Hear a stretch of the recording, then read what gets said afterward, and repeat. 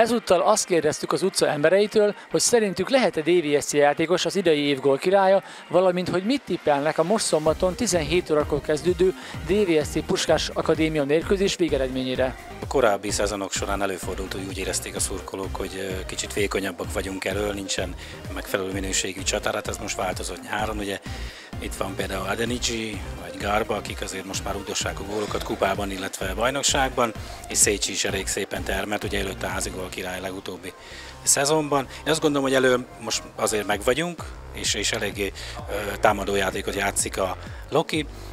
Hát legyen úgy, hogy mi adjuk a gól királyt. Hát mindenképpen látok rá esélyt, az elmúlt években nem volt erre példa. Ha tippelnem kellene, akkor Baba Tündét tudnám talán. Mindenképpen remélem, hogy lesz gólkirályunk.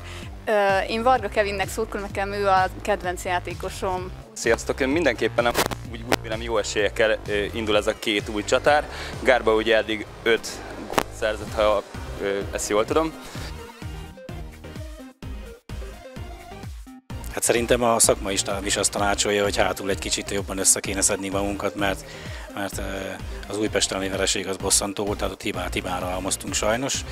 Úgyhogy ha hátul rendben lesz minden, szerintem a gólok elől nem maradnak el, úgyhogy arra figyeljenek, hogy ne kerüljünk bajba, mondjuk hozzuk le kapott gól nélkül a meccset.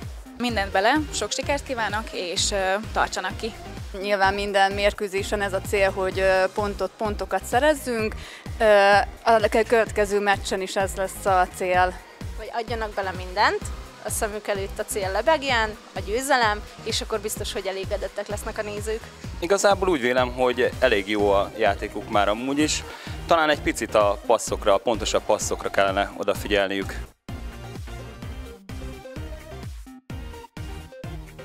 Hát remélhetőleg egy ilyen 3-0 0-ra nyerünk. 2-0. 2-0.